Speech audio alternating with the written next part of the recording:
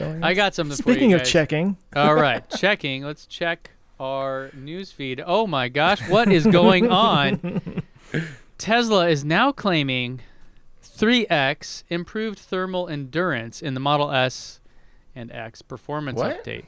when was this? Yeah, so Tesla just re- just put out a new uh, acceleration boost for the Model S performance, getting the, the 0 to 60 from 2.4 to 2.3.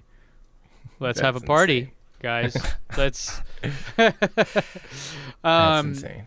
and and one of the deals was that apparently it's going to um, improve a, a 3x improvement in the thermal endurance, meaning you can kind of do more launches consistently and get better speeds. Um, so the release says that with our latest over-the-air software update to Model S performance, we improved 0 to 60 acceleration to 2.3 seconds and quarter mile time to 10.4. So there you go, going back to that. There you go. Yeah. Oh my Um, gosh. Yeah, it, so uh, a go for more sedan. back-to-back runs with improved thermal endurance and activated launch mode with the press of the pedals. Which hallelujah, because launch mode previously was like a, you know, solving a Rubik's cube. Um, now they have this thing called cheetah stance, where it lowers the front axle and adjusts damping before uh, entry and better traction. So you can actually go see this. And my buddy Brooks from Drag Times did a video showing it off. It's really cool. Um, and you automatically receive the update, et cetera, et cetera, based on that. And I saw Marquez got it, so wow. cool. You know, updates are going out, faster stuff. The thermal performance is the kind of cool one though, because that's been sort of the a, a, a big. Uh, I don't know, weak spot, I guess, in, in the Model S performance specifically. If you guys remember to the very early Model S's, they were putting on the track and they would overheat.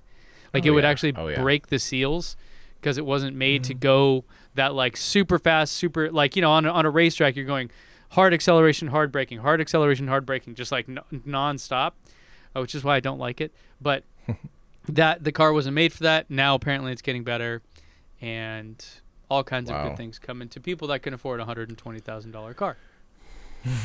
As good That's things awesome, should though. come to them. But I mean, when's the last time a five hundred thousand dollars supercar that you drive, you know, five times a year? When's the last time it got a 0.1 second faster over the air? You know, for free. Never. Yeah, I was gonna say you could go get it tuned or something, but Yep.